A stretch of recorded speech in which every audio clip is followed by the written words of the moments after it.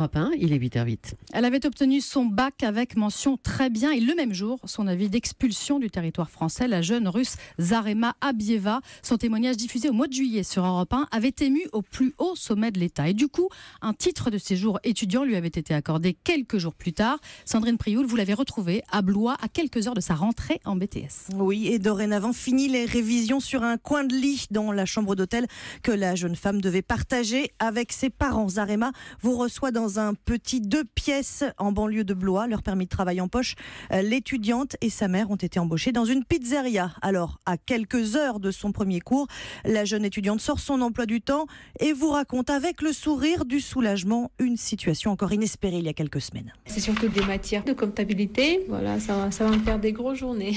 J'ai pas encore acheté de la fourniture scolaire. J'ai pas eu le temps avec le travail, mais je vais le faire. Euh, je compte. Euh, étudier, travailler pour euh, payer les cartes de séjour, aider ma famille. Le travail, le travail, le travail. Euh. Mais c'est bien que mes études, mes démarches administratives, ça n'a pas servi à rien, ça a abouti à quelque chose. Beaucoup de chemins qui étaient longs et difficiles. Tous les refus de la préfecture et l'obligation de quitter le territoire, c'était un des plus gros découragements, mais voilà, on va y arriver. Et y arriver, ce sera réunir 1600 euros pour payer trois taxes de séjour, réussir sa première année de BTS évidemment, et depuis peu, Zarema nourrit un rêve simple, passer son permis de conduire. Merci Sandrine Prioul.